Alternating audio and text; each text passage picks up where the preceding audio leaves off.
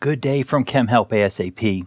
In this video, we are going to walk through how we use IV-CP time data points to calculate some of the essential pharmacokinetic parameters. On the screen, we have some data points. These are CP time data points.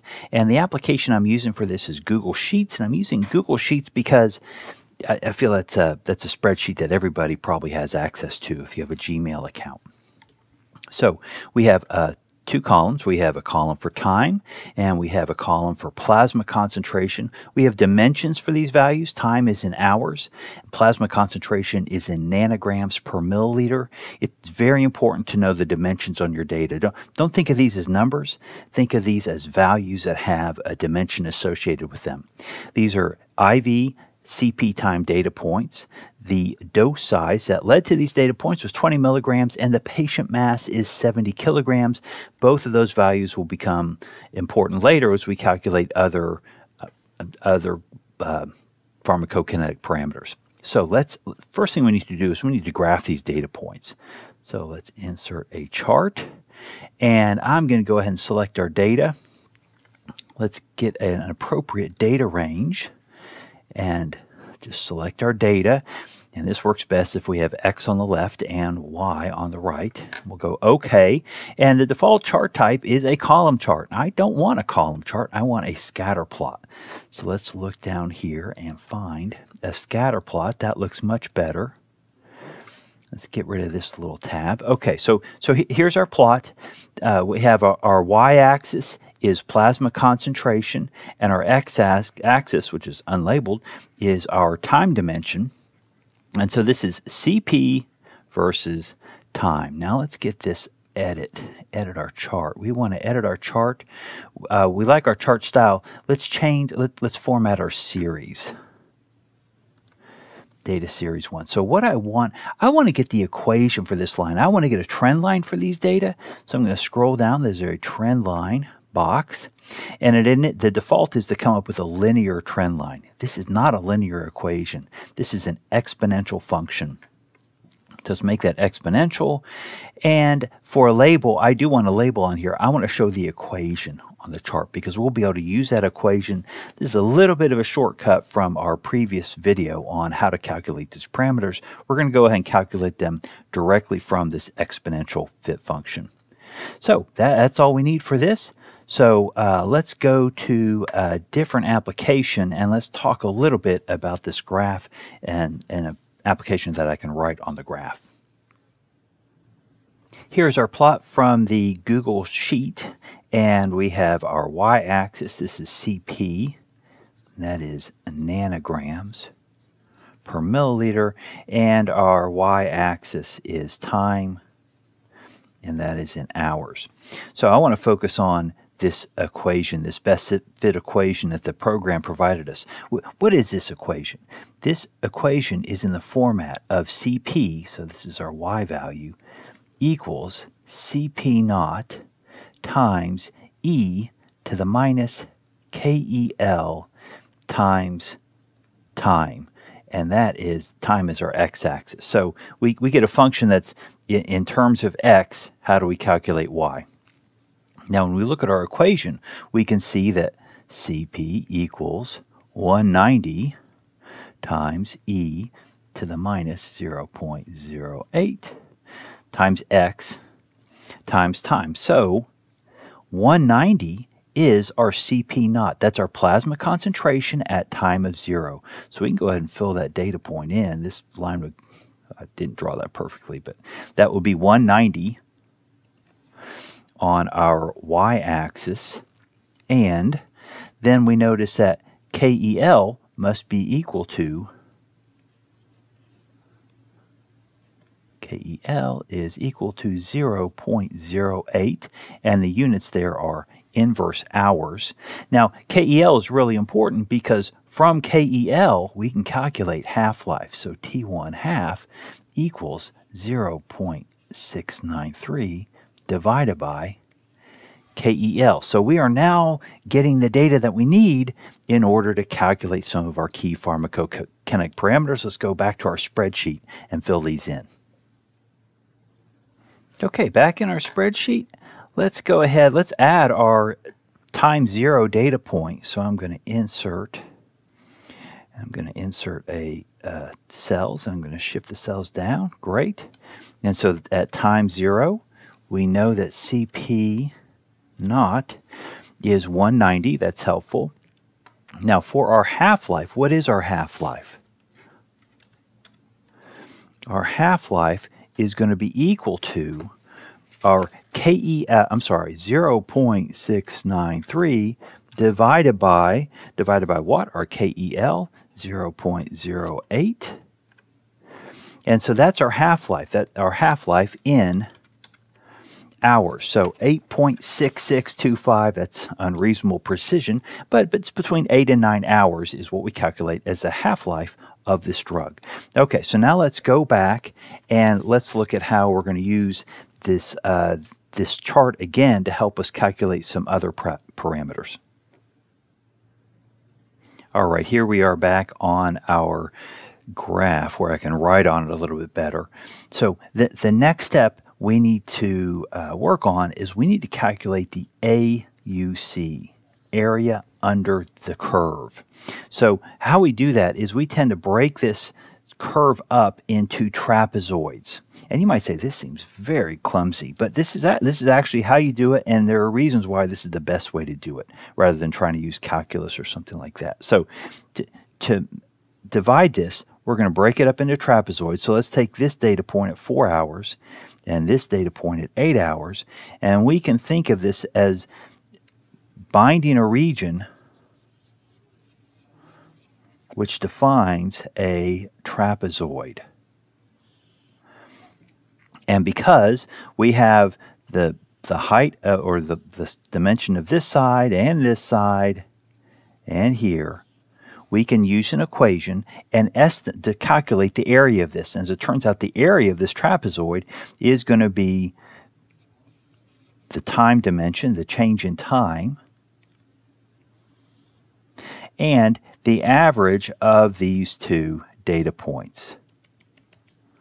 And so that gives us a, a, a length and a width and we can therefore calculate an area of that trapezoid. And how, how, what do we do next? Well, then we go after this trapezoid, and we'll do that the same way. There's a change in time, and there's an average height de determined by the average of these two values, their y component, and we calculate that trapezoid. We'll do the same for that region, that region. And since we have a CP naught, we can also treat this first region as another trapezoid. So in total, we'll have one, two, three, between each pair of points, four, five trapezoids that we're going to add up. And once we're done, we'll come back and account for the fact that this curve continues on. And we need to understand what this area is as well. And we'll have a little, a little uh, shortcut to determine that. So area under curve, we're going to determine the area of a bunch of trapezoids and just simply add them up, and that total will give us our area under curve. Okay, back in our spreadsheet, you know, this, this chart's been very nice, served us well, but let's get rid of it because we need some of this space.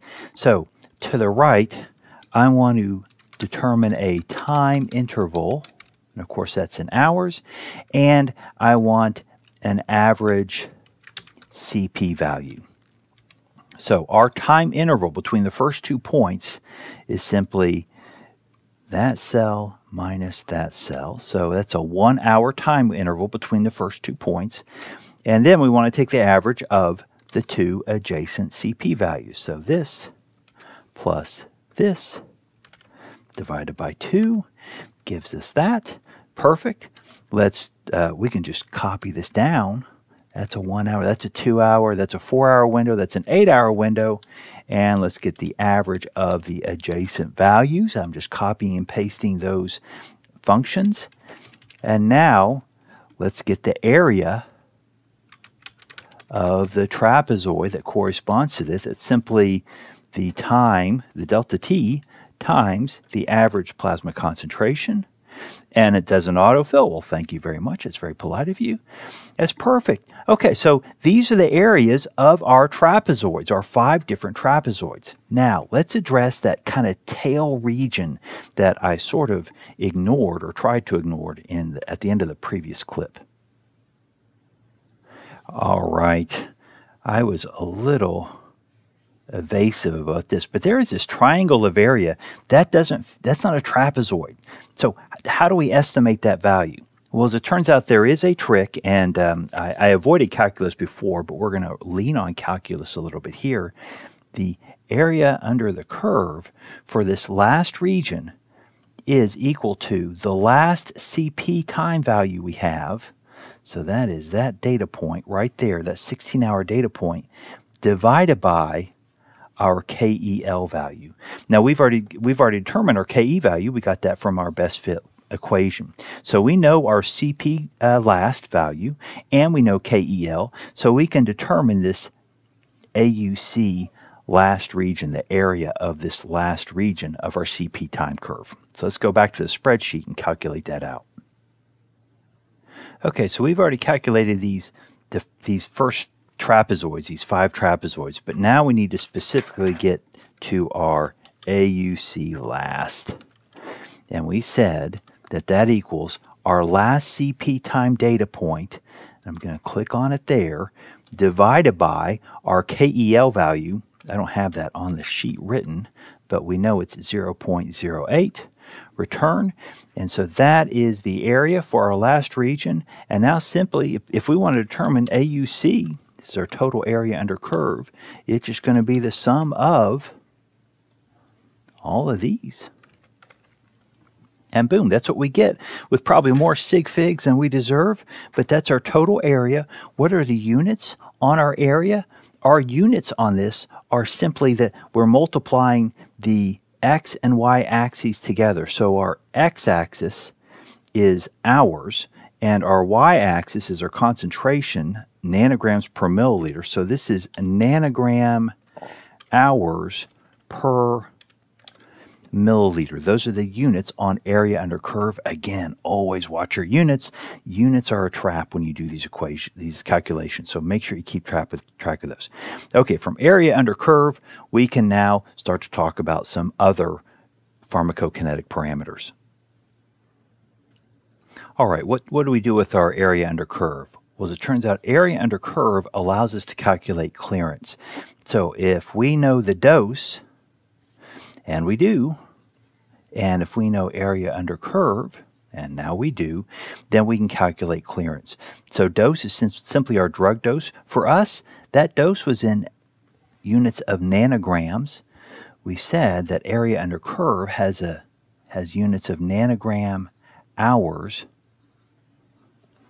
per milliliter, and therefore our units on our calculation will be milliliters per hour.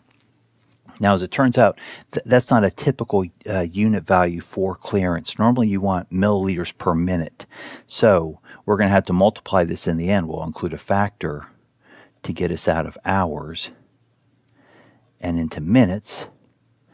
And so we will be able to get milliliters per minute from that. Now, very often, um, and it depends on how you're asked to provide the information, but clearance will be reported as a milliliters per minute per kilogram patient mass, in which case, if we want milliliters per minute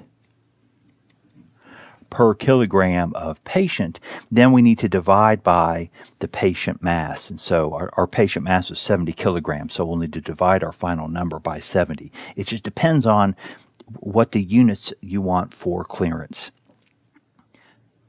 Okay, let's now calculate our clearance over in the lower left. So we said our clearance is equal to the dose, but see the dose mass milligrams needs to match the nanograms. And so we have to be careful here. So this is not 20 milligrams, and it's also not 20,000 micrograms. is 20 million nanograms. So it's 20 million divided by our area under curve.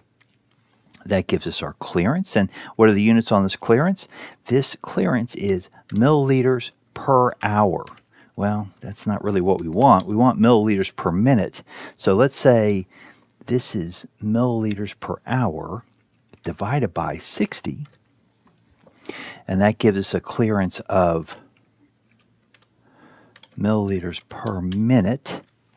And then finally, let's go ahead and fix this. Let, us say, okay, I don't want milliliters per minute. I want milliliters per minute per kilogram of patient.